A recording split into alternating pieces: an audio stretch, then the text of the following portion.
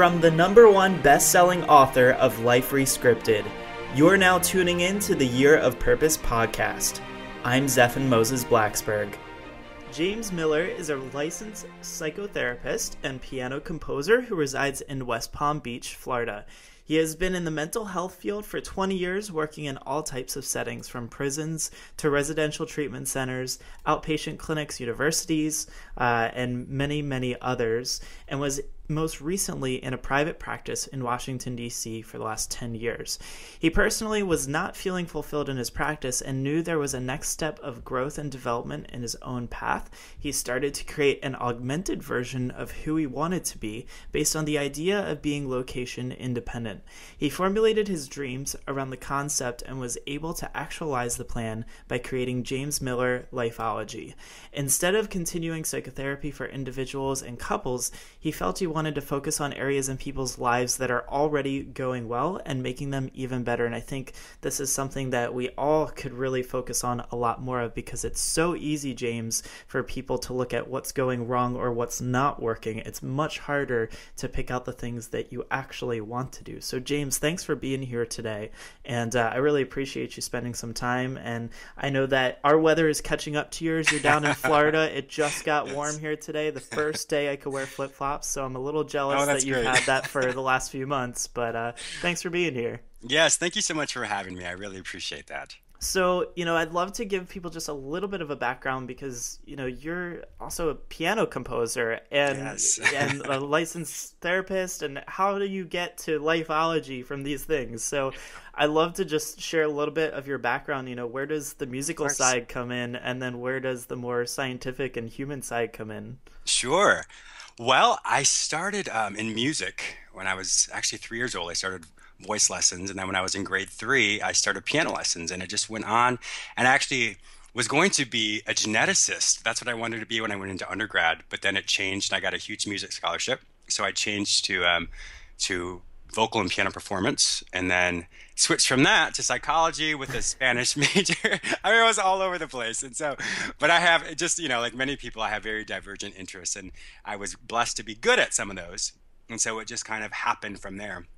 And so I went ahead and I was going to do something. I wanted to be in the film industry and, and all those things. And but I thought, you know, let me make a decision to at least get my master's degree in counseling. And then if things change, then I'll go back and maybe do something different. And it never happened. I was very successful in the psychotherapy world, and that just came became bigger and bigger. And um, with that, you know, my dream was to, to still compose music. I hadn't composed for probably about five or six years, and then I some transformations were happening in my life, and I literally sat down one day, and I just started composing, and it flowed out of me in such such a wonderful way. And with that, my first album was released. It's um, it was 10 original compositions. And so if you listen to it, it's more like a movie soundtrack, that type of, of piano, um, piano music. And so that's just kind of what's happened for me, you know, in, in the bio that you read about me. Um, I've, I've been very successful in one thing. And so now this whole transformation for me coming down to West Palm Beach and doing something that I really enjoy. Um, you know, I think a lot of the times mediocrity is something that we all kind of feel and we experience. But i was able to say you know what? I'm i'm i've been successful in what i was doing but now it's time for something different. And so that's when i created whole, the whole concept of lifeology and was able to actualize it with my whole plan of being location independent. I didn't want to be kind of centralized in an office. I want to be able to go anywhere i can in the world and do what i'm doing. And that's how everything came about and then I chose West Palm Beach. Told myself I'd be here for a year, and then we'll see what happens after that. Very nice. Well, you know, I think you picked the best place for weather.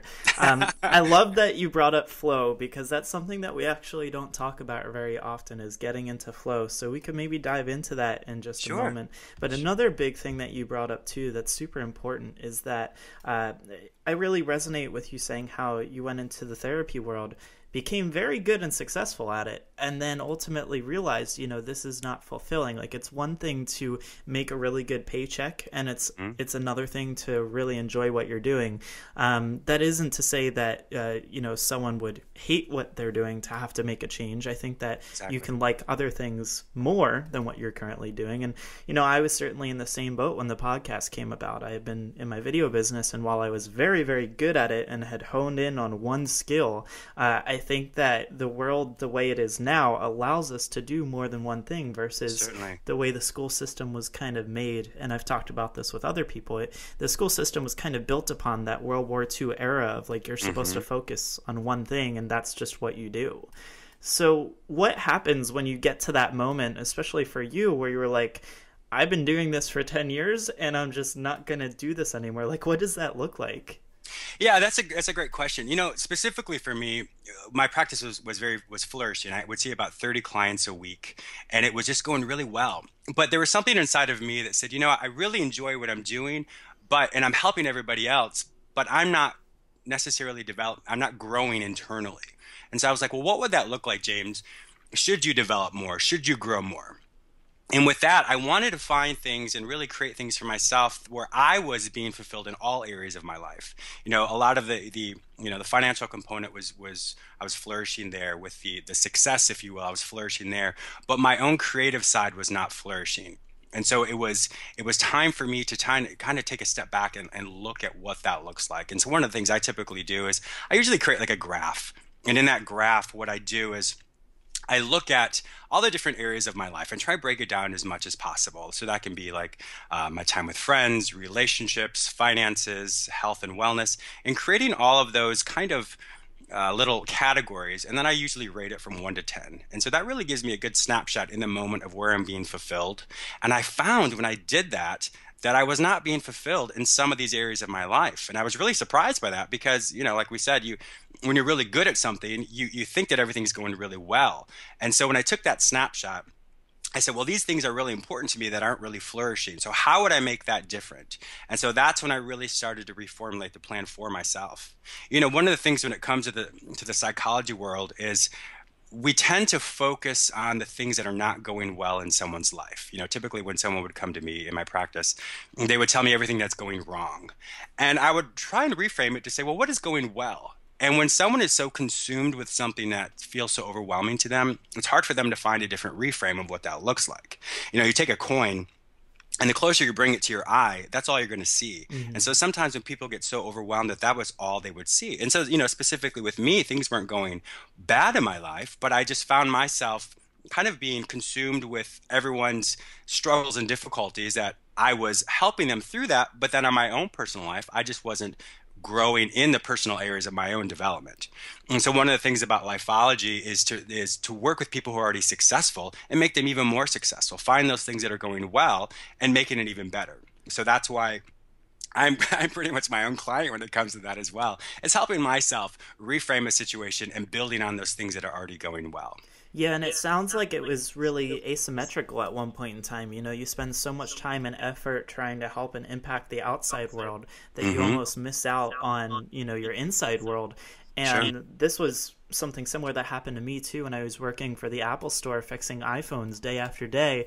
People would come in and they're like, "Oh, do you see this all the time? You know, like do you like working here?" And I'm like, "Well, people bring me broken stuff and every mm-hmm. 10 minutes i take a new appointment and i see an upset person no one comes in and sure. makes an appointment just to say thank you i love this product like exactly. my job is to basically see broken stuff and mm-hmm. angry people all day sure and so i know what that's like to be the person who has to like stay strong and be energetic and inspire other people outwards mm-hmm. when inside you're just kind of like you have this soul crushing feeling in the back sure. of your spine and um, that was one thing i re- really do is you know for myself i had really good self-care and i implemented that and it went really well so i was able to keep those boundaries but when you know, when you look at the the create the creativity part of my life or the creative part of my life when it came to composing, I hadn't really done that. So that was not something that was in me. So I thought, you know, I've helped people for so long and I loved it and I'm good at it, but now it's time for me.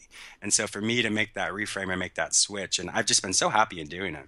Yeah, oh, I'm sure. And eh, I mean, how many people do you think are out there right now who had some sort of creative thing that they did as a kid or a teenager or even just, you know, in their 20s or 30s and they kind of moved away from it for whatever reason, whether it was mm-hmm. starting a family or, you know, the work-life balance got in the way. And I mean, how many of them do you think if they just went back to basics and went back to those core things that they loved so much, it would just change their life? I think pretty much everybody has experienced that at some part in their life, and not everybody is aware of it. You know, I, we all have our own special gifts, and some are very obvious. You know, for example, if someone is, you know, a, um, a professional actor and you know they're on TV all the time, versus someone who just has a gift of compassion. You know, that's not as obvious, but we all have that. And I think when people just get caught up in the minutia of life and aren't really really mindful of what's happening internally, then we just forget about those gifts and we think, oh, well, this is how my life is going to be. This is how it's always going to be. And then they forget that part and they're never really fully, they never really fully develop. Yeah, no, absolutely. Now, let me ask you because it sounds like, you know, you had been in your practice for 10 years and it became mm-hmm. successful. A lot of the people that come to me tend to be in jobs where they're not as financially well off, like they're mm-hmm. still struggling in a sense. So I'm curious to hear your perspective on, you know, it's one thing if we left a job where we had built up a really nice savings and we're comfortable and could like start a new venture or business. What would you recommend for the people who are still kind of stuck in that job? They're not making a whole lot. They're still going paycheck to paycheck, but they want to make that change. They want to make that leap, but there's kind of that fear that's coming into play of, you know, what do I do if I don't make this money? And we play that what if game. Sure.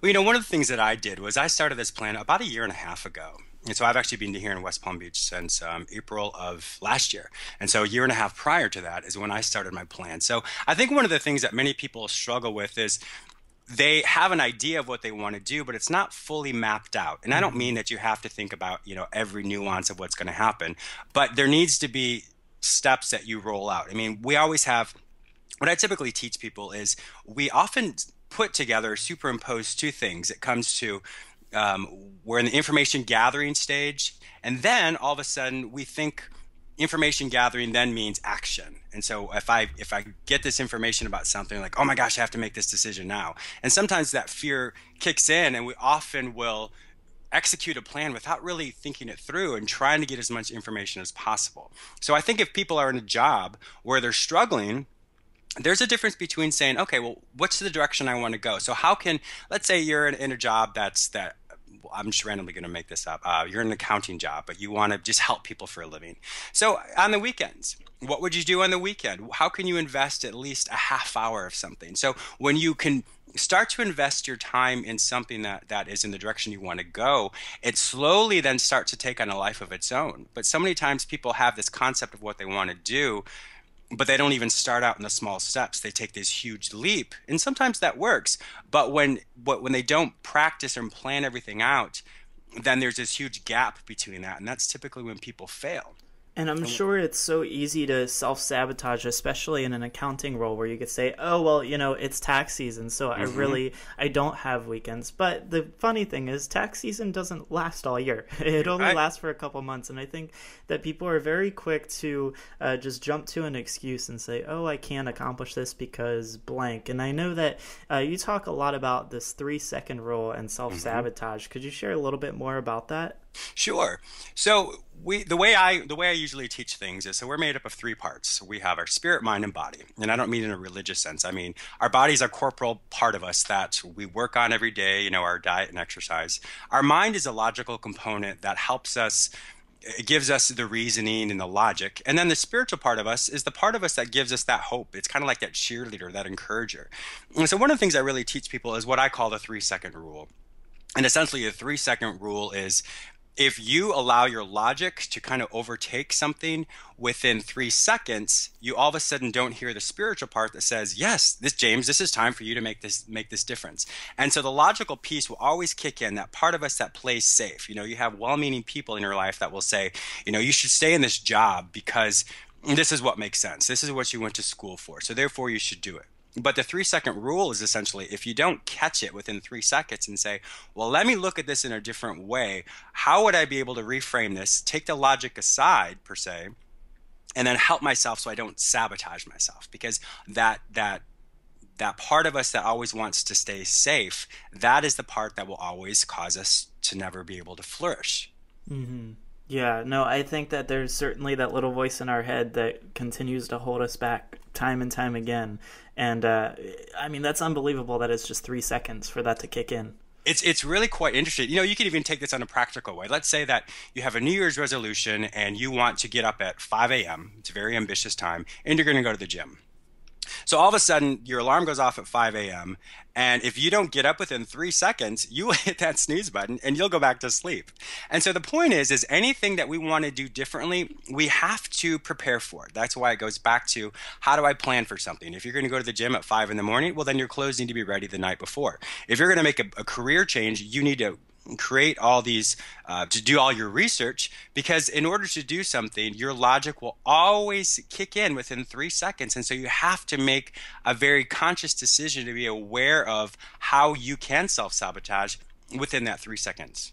Yeah absolutely. So awareness being one of the big keywords there too. I think that's so important yeah, you know, one thing I think is so important is self actualization. And that's just, you know, a fancy term to basically say what's happening inside of you. Uh, you know, I like to do a lot of check ins and teach people how to just have a random check in. You know, you have a create an alarm on your phone. And with that check in, what you do is when that alarm goes off, you create I really like scales. So on a scale of 1 to 10, 10 you're doing really well, 1 you're not doing well. And so when this random alarm goes off, that's when you check in with yourself to say, well, how am I doing emotionally? How am I doing physically? How am I doing spiritually? And when you can really create that snapshot, it then becomes part of who you are. And then you can always kind of self monitor. And if you find in the moment that you're not happy with something, or you find in the moment that you're perhaps overreacting to a situation, when you have that internal awareness, you can then change it. And I think so many times people just go by rote or they just are so caught up in their daily life that we that they become so reactive and, and they don't even realize that they have the ability to change their situation. They have the ability to change their perspective about something. And so often we just live a very reactive life as opposed to a proactive life. And a proactive life is simply choosing to feel a certain way, choosing to do something different when you have that awareness. And that's, you know, by simply creating these little scales, these little check-ins that you do every time. So this is probably one of those things where it's like in order to get this habit to stick, you could probably set an alarm on your phone and you know at a certain time of day every day it just says, you know, check in with yourself until you you know start to get in the habit of doing that. Because i'm sure after uh, you know having that pop up on your phone every day for you know two or three weeks you're going to start doing it yourself. And, exactly. you know i've certainly found that there are certain situations where uh, you know if you can notice that you're moving into a certain emotion especially in a negative light uh, mm-hmm. it, it, once you get into that habit of stopping and saying huh isn't that interesting? Why am i feeling this way right now? Because exactly. oftentimes we feel something but we can't quite place it. Like we can't associate it to what's happening. And so mm-hmm. once we can make that connection it's so much easier to move forward.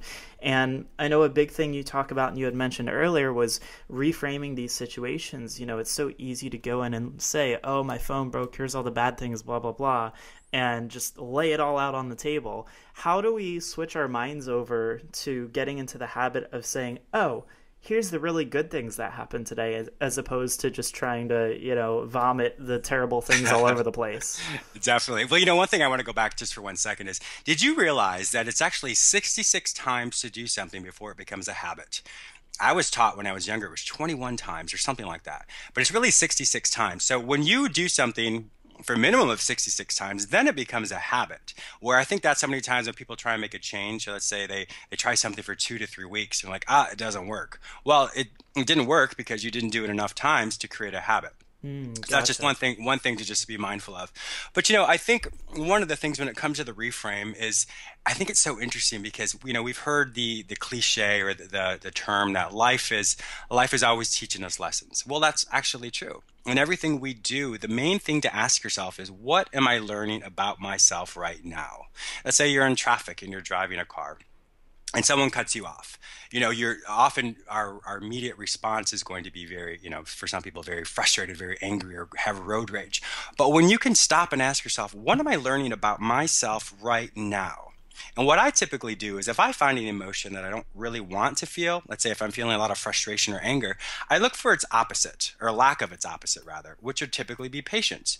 So in that moment, I say, All right, James, you're angry right now. The lesson that you're learn could learn or that this is teaching you right now is you're really struggling with patience. So when I reframe the situation and say, ah, this is a perfect time for me to practice patience, it then puts the responsibility or the onus back on me to then say, well, okay, now that I'm aware of that, I can either stay angry which is disproportionate because this person doesn't know you, or I can practice this lesson of learning patience and benevolence. And so, one of the things to really do is to always ask yourself that what am I learning about myself right now?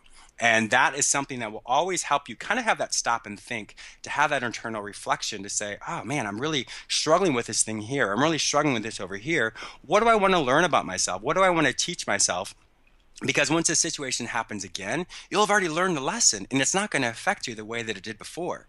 Yeah, it's so interesting to look at the opposite, especially when it comes to emotions. And the cool thing about hearing you say this is I have this graphic that I've saved to my phone, and it's quite interesting how the human body works because not only with emotions, but with your eating habits, I've found that depending on what you're craving, there's actually certain vitamins and minerals and nutrients that you're deficient in. Mm-hmm. And there's this cool chart. I mean, you can find it online for. Uh, it's you know just search for like food cravings but you know i crave chocolate all the time i'm weird like too. that maybe some other people do it too yep. but the crazy thing is this chart shows you if you're craving chocolate, you're deficient in magnesium, which you can get from nuts, seeds, veggies, mm-hmm. fruits, all sorts of things. And it's so interesting to look at the opposite as to, opposed to just focusing on, you know, the negative thing right in front of you. And much like you said, you know, if you hold the quarter closer to you, it's obviously going to take up such a, a larger field of view for you, and that's going to be the only thing you can see eventually.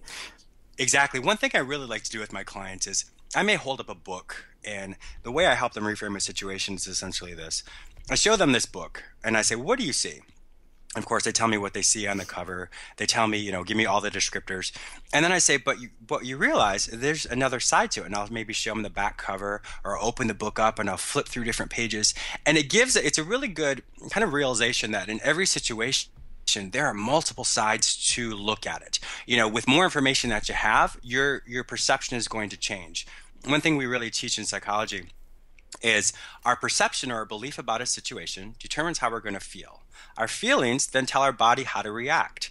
And the thing is, when you have more information about something, your belief is going to slightly tilt. It's going, you're going to slightly view the situation in a, in, with a different perspective. And that's all of a sudden going to tell your emotions, maybe to have a little bit more emotions in this area, maybe a little bit less in this area, which then tells your body what to do. You know, the chemical reactions that happen, which is the fight or flight, all that as well. So one of the main things to really ask yourself is, if I were to have more information, how would I react differently? You know, going back to the whole thing I was saying earlier, we often react in such a quick way. The whole concept of I perceive, I do.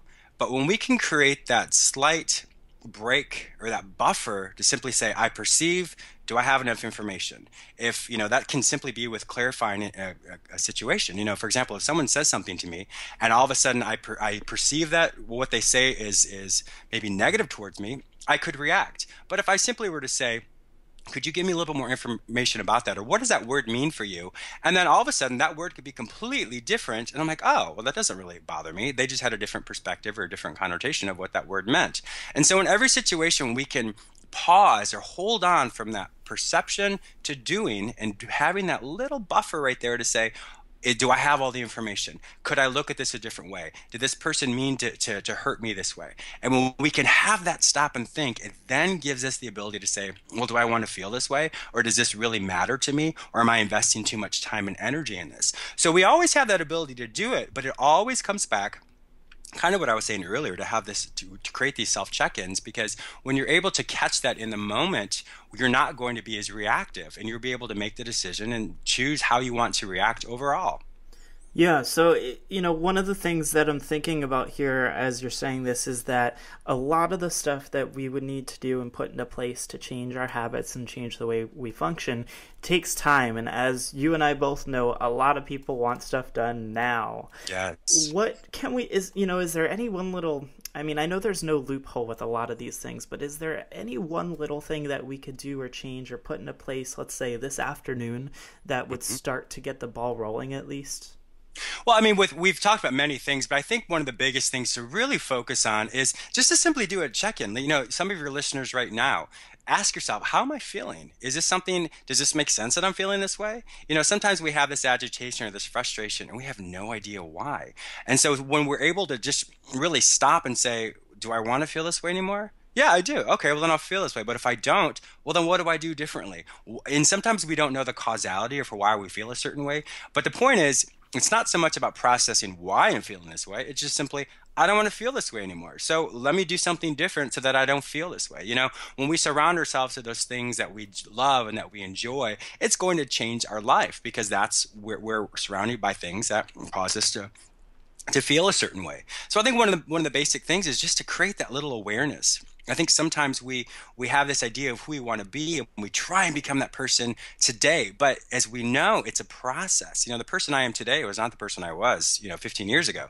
You know, and every every year, every moment, I'm growing and learning more. Sometimes I really flourish, and other times, you know, I don't really recognize what the lesson is. And when I don't recognize what the lesson is in that moment, I get to practice it again until I finally get it. And so I think when people can recognize that right this second, we have a choice to figure out how we want to feel. We have a choice to decide what's healthy for us. And we don't have to worry about what's going to happen 10 minutes from now you know often when we try and lump everything together our our imagination our fantasy that we create it kind of kicks in and it stops us from being really present in the moment of saying what's happening with me now what's not not necessarily what's happening with me 10 minutes from now but when we can really be present in that moment. And I know we hear about that a lot in the media, but truly being able to be present in the moment gives us that ability to say, well, when I can figure out what I'm doing now that's the stepping stone and foundation for how I want to feel in 10 minutes or how I want to feel tomorrow. And so it, it helps us really focus on the moment and really understanding what that looks and feels like. So therefore, it will help us in the next 10 minutes, in the next day. So I think it's safe to say that, you know, regardless of where you are in tuning into the episode, if you're in the car, if you're out for a run, it doesn't really matter. You know, we could sit here all day and listen to podcasts that tell us how to improve, but it doesn't really work until we put it into action. So I'm going to just recommend to the listeners right now, you know, it's so easy to let the podcast run through and it'll just play the next one and the next one kind of like Netflix and that's how we all end mm-hmm. up binging on House of Cards because it just keeps playing.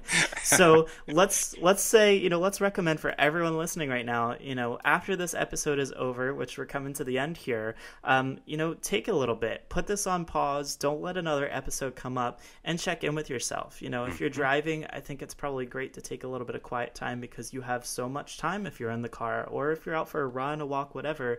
Let's say, you know, take five minutes, maybe set a timer on your phone, and just use that time to check in instead of going on to the next episode and actually putting this into place. Yes, I think that's a wonderful, wonderful idea.